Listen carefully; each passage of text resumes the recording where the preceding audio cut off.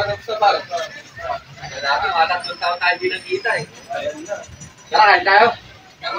Pera ako dito, pre. Libre ka ba? Oo, libre ko kayo. Ano ba gusto niyo? Kanina, kanina pa nagkakaroon. Kanina nila. Galing sa yan, boy. Ano yung ito yan? Inang, sige, bilhin ko na lahat yan. Bakit ko siya? Baka naman mahirap eh. Salamat, sir. Sakto. Pambayad ko na sir, sir. Salamat, sir.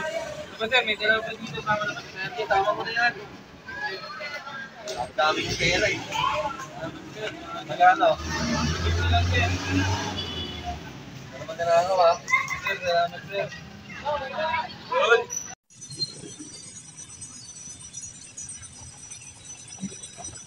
Ano na sarap na kainan dito? Ay, may alam ako dyan, pre. Hindi pa ako nagtangalian eh. Paborito ko dyan yung pater, siomay, fishball, kika, masarap yung kwek-kwek, tukneneng. Ang dami gusto mo, may isaw pa dyan. Barbecue tayo. Pagtapos mamaya, marami ka naman pera. Burger, food lang. Marami akong pera, pre. Oo, tama yun. Tama yun. Ano ba nakuha mo? Tayo magkano po to?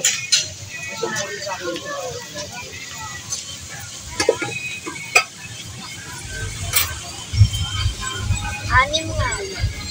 Anim. Pre, mamaya ano naman tayo? Lugaw, mami o kaya pa pater. Sarap dun. Tapos padulak. Juice tayo. Marami kayong pera eh. Ilan pre? Siya, siya na ako. Kapalat ka, Ramil ah. Ito nga sir. Hindi ka mangubos pera niyan. Pera mo niyan, pre. Kanina mo pa kami nililibre ah. Okay lang, may pera pa naman dito. Budget ka rin, pre. Baka makapunta ka niyan. Yo, okay lang yun. Star po star! Stop, stop! Isay kay. Ano po? Nag-hip-hop, nag-hip-hop. Sabi na sa'yo, Nag-hip-hop. Thank you ah. Salamat. Salamat, par. Walang par. Nalibre mo kami, par. Salamat. Sa susunod ulit. Tingnan lang ulit.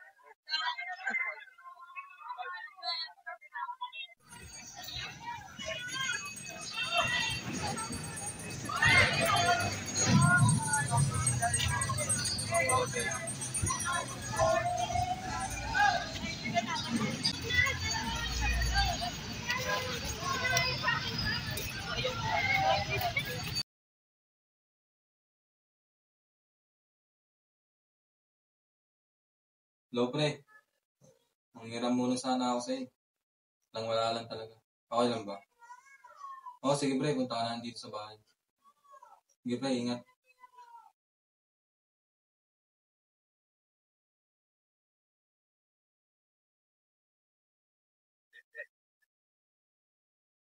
Wala ka pre.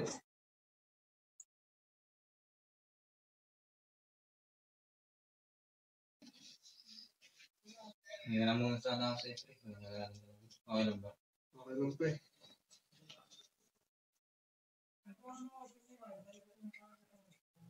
Ito, pre. Tensya lang talaga pre. ah. Susunod, magtitid ka, pre, ha. Tulungan na lang kaya kita kung paano ka mag-budget ng pera. Oo, sige pre. Ganito na lang gawin mo sa sunod, pre, para di ka na mawala ng pera. Iwasan mo gumastos ng mga bagay na hindi mo naman kailangan. Yung pera mo, ihiwalay mo na dyan yung mga gastusin mo sa school, pati yung mga gastusin mo sa bahay. Tapos yung itira niyan, tira niyan, isave mo na lang. Ganun na lang gawin mo para di ka na mawala. Sige pre, salamat sa alis. Nasaan ka talaga. Sige, pre. Sige, pre. Sige pre, ingat ka pre. Salamat, pre. Salamat. Balik ko na lang pre. Sige, pre.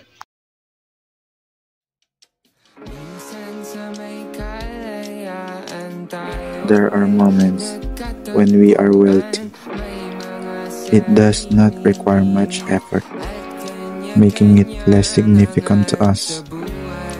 That's why we decide to spend excessive amounts of money on unnecessary items, treating our pulse without boundaries outside, only to find out afterwards that you're out of money after spending on everything. You're going to lose track of priorities when you're having fun. That's why we need to manage our finance. Save some money for emergency or save some money for future needs.